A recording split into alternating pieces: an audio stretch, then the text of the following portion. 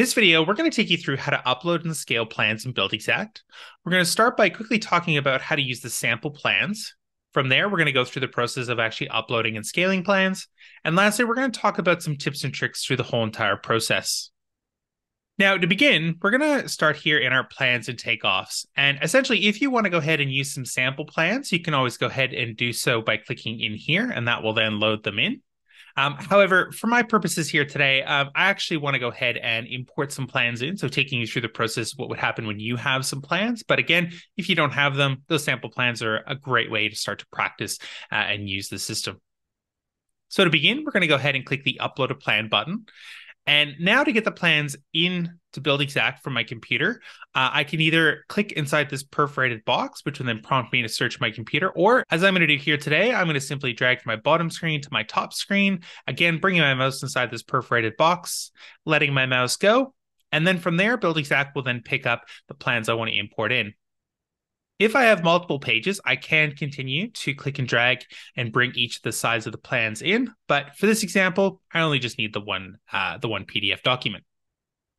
From here, I can also decide if I want to elect certain pages to be imported. You know, it's very common that maybe you get 40 or 50 pages, but perhaps you only need, say, page 2 through 15 or 1 through 5, and then maybe page 8 or something along those lines.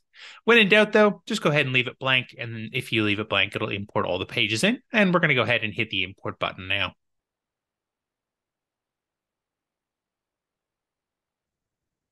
Now, once the plans are loaded in BuildXact, you're going to see this little screen is going to prompt come up. It's going to say, do you want to go ahead and hit confirm to scale them.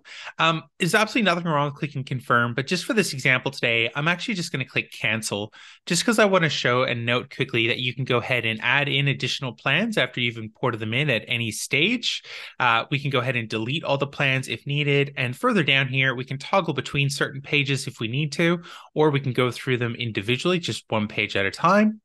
We can also go ahead and rename them we can scale them by hitting this little button here, which I'll do. And we can also rotate them and delete the pages. So just really touching on the fact that you can import them in and then you can come back and scale them and continue to housekeeping at a later time. But for now, we're going to go ahead and scale them. So we're going to hit scale all plans, and that'll bring us into our screen. On the left-hand side, firstly, you'll see all of the different pages that we've imported in. And we can do a couple things here, such as we can start to rename them. So I'll just call this one elevation for now.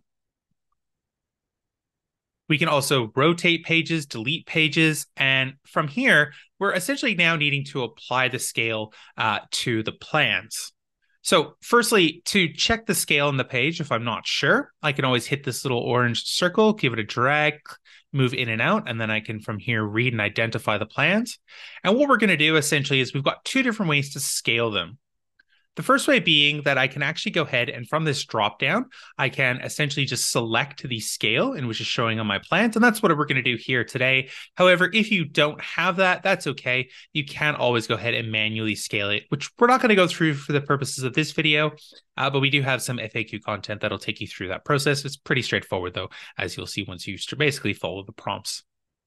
From there though, we're going to go ahead and apply our scale. So quarter inch, and when I do that, I'm now going to have the ability to either just apply that scale just to this plan or apply to all plans.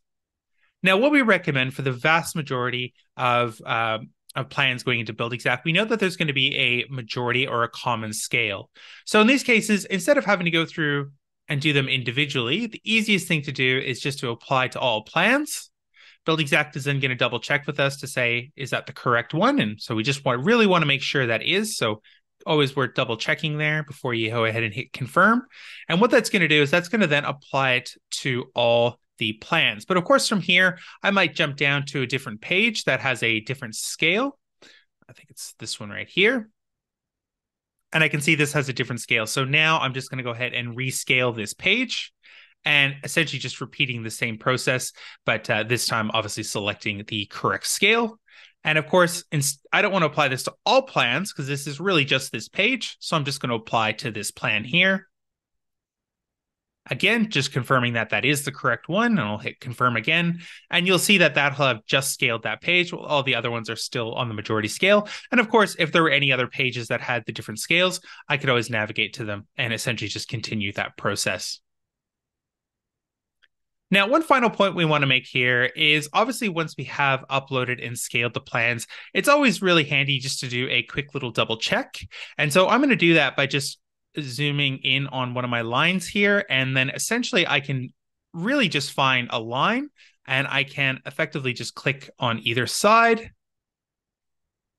click again, and then we can essentially compare here in the label with what Buildxact is telling me the length of the line is with the actual line itself. So really just give me the confidence that, yep, I've done it correct and the system has calibrated it successfully. Once we're done, we'll hit close.